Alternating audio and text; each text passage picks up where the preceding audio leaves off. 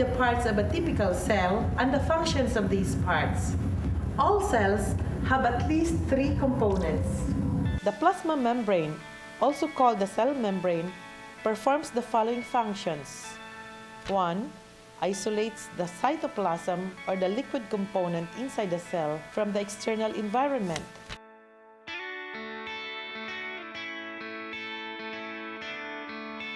2.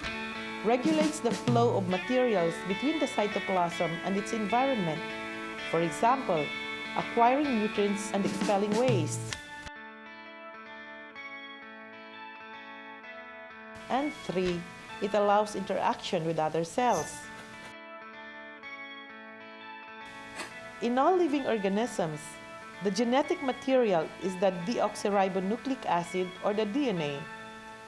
The DNA contains the cell's hereditary blueprint in which is stored the instructions for making all other parts of the cell and for producing new daughter cells. In eukaryotic cells, the DNA is contained in a separate membrane-bound structure called the nucleus. In prokaryotic cells, it is found in an area called the nucleoid and is not separated by membranes from the rest of the cytoplasm. The cytoplasm consists of all the materials inside the cell membrane and in eukaryotic cells outside the nucleus, which is itself contained by a membrane.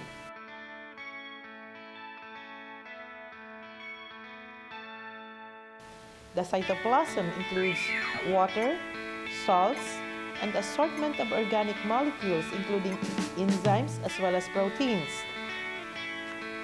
The cytoplasm also contains a variety of structures called organelles. Each organelle performs a distinct cellular function.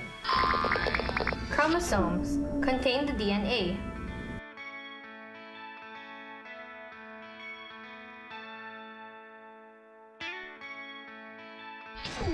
Nucleus, membrane-bound container for chromosomes.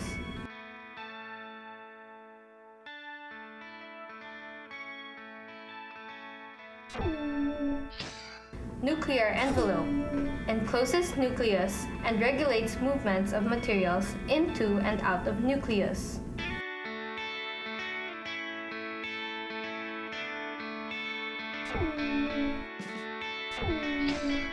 The mitochondria carries out the process of cellular respiration where chemical energy from food is transformed into energy molecule called adenosine triphosphate or ATP.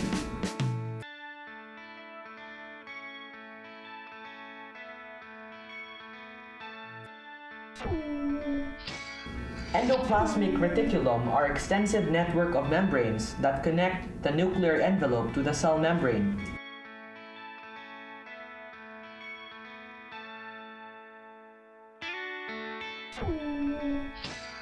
ER synthesizes membrane components and lipids.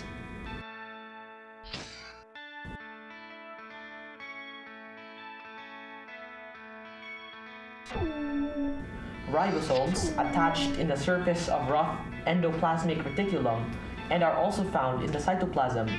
These are sites of protein synthesis.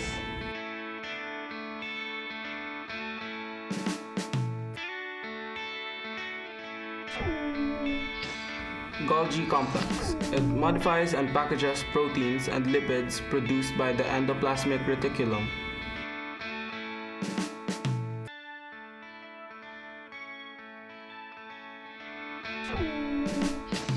Vacuoles are fluid-filled sac in the cytoplasm containing crystals, inorganic salts, sugars, and excess water.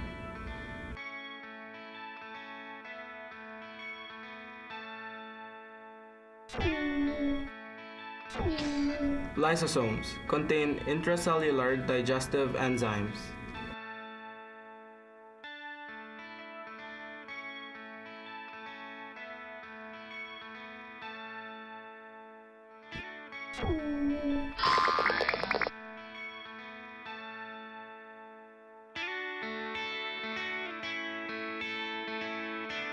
Let me describe the important role of the lysosomes. These organelles contain digestive enzymes enclosed in its membranous sac. Inside the cell, They fuse with the food vacuoles and digest the nutrients the cell contains with their enzymes. Also, the bacteria ingested by our white blood cells are also digested by the enzymes of the lysosomes. Moreover, the lysosomes can engulf and digest parts of another organelle, making its molecules available for the construction of other organelles, thus serving as recycling sites for other organelles. See how nature works? Amazing, isn't it?